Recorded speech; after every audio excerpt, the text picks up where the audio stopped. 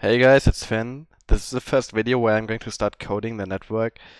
Uh, for the beginning, I have to say that I assume that you're familiar with Java and um, basic array um, operation and that stuff, because I'm not going to play, explain that in detail. Uh, furthermore, you should be familiar with multidimensional arrays, but if you aren't, it's not such a big problem because you will probably learn it in one of the next videos, but I'm not going to explain it in detail. Um, I'm working with IntelliJ. It there's not a um, it's similar to Eclipse, uh, so it's fine if you work with Eclipse or NetBeans or whatever. It's just um, easier um, to program stuff in it, and I highly recommend um, programming in IntelliJ. But uh, yeah.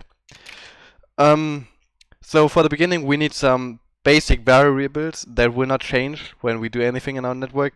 This is, for example, the private. Um, I'm going to make it public. So public um, final and it's going to be an array, and I would call it uh, network uh, layer sizes.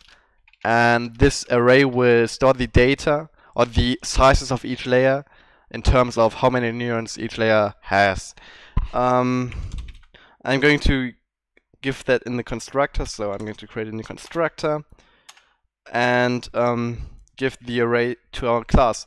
Um, I'm not sure if you have seen this, but you can remove the um, brackets and write three points. This is way easier to work with because, for example, if you create a main method, um, you can call the constructor like this, which is pretty cool, I think. So network net is a new network. Uh, and you can just write numbers uh, and so on. Um, so you don't have to write a new int array and enter the numbers here, which works as well. But it's uh, easier to write three points, so you can just enter the numbers here. Um, the next thing that we need for our network, um, I mean, we already can extract the data out of our layer sizes, but it's easier to have it extracted. So public, final, in, and we need the um, input size and the public final and output size. Um, furthermore, it would make sense if we have um, the public final and I'm going to call it network size. This will store the um, amount of layers that we got.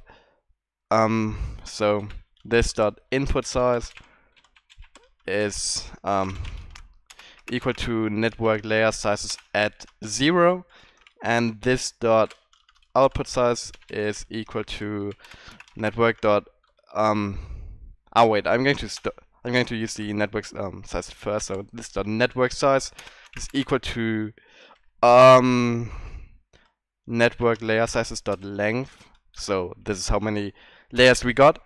And the output size is equal to the network layer sizes at the network size minus one. So the last index uh, we have to add minus 1 because the index of our first layer is 0. And for example, if we um, have four numbers entered in here, so for example, no, um, network with 4 in the input, 4 in the output, 1 in the first hidden and 3 in the second hidden layer, uh, the size would be 4, so the length of that array is 4, but the index of the last um, element is 3 because this is um, element 0, 1, 2, and 3. Um, okay, so this is pretty much it for the basic architecture. Um, I'm going to um, create some arrays that we are going to need to actually process some data, but the feed forward method is going to be programmed in the next video. Um, but I will just create the basic arrays that we are going to need for that. So uh, we need an output array uh, for every neuron. So I'm not going to create a class neuron. I'm just going to create an array that stores the output of every neuron. So a private, um, it, we're going to use doubles, not integer or floats, uh, because we need some precise numbers, and um, float isn't precise enough. So double.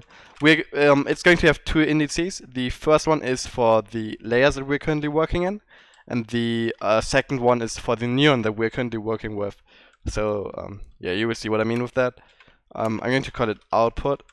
And we need the weights array. These connects, um, the weights are uh, do connect the um, um, the neurons, but notice that we're going to have three indices.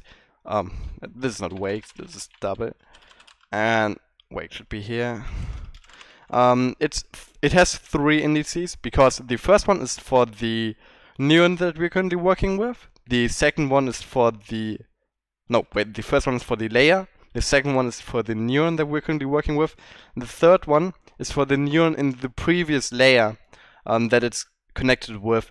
Um, so every neuron has multiple weights connected to the previous layer, but only one output. This is why the um, output array has two dimensions and the weights array has three dimensions. Um, and we have talked about the bias. So we need a bias array, and every neuron has only one bias, so it only has um, two indices. So um, private double bias, and um, I'm going to create them in the uh, constructor. So this dot output array is um, at no wait um, this dot output is a new double array and the size is the network size so for every layer we we're going to create a new array. Um, this is the same for the uh, weights array and the bias array. But we have to enter the brackets here. So the weights array um, there's an array for every layer. Same for the bias, but notice that the first layer in the uh, the first layer does not have weights connected to the previous layer because there is no previous layer for the first layer. Um, the input layer or the first layer isn't going to calculate anything. It's just going to pass the data to the next layer. So there's no um, no calculations happening. So um, we have to be careful when we create the um, the arrays. So um, I'm going to iterate through every layer. So for int i equals 0, i smaller than network size, and i plus plus. And um, I'm going to create the output array at that layer. So for the this dot output at i is equal to a new double array. Um, the size of that is the network layer sizes at i. Um, we have to do this because in here we did not create the um, the second dimension. We only created how many uh, layers we got, but not how big each layer is. This is what we are going to do in here.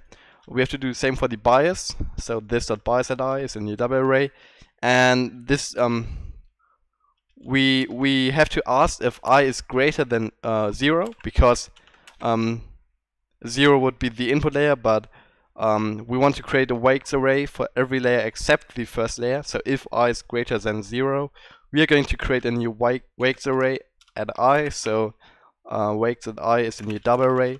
And the first dimension is the network layer sizes at i itself.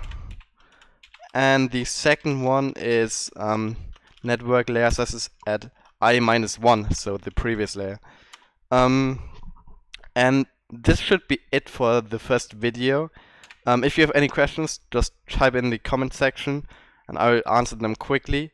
Um, in the next video, I'm going to um, talk about the feed forward method, and I hope to see you in the next video, guys.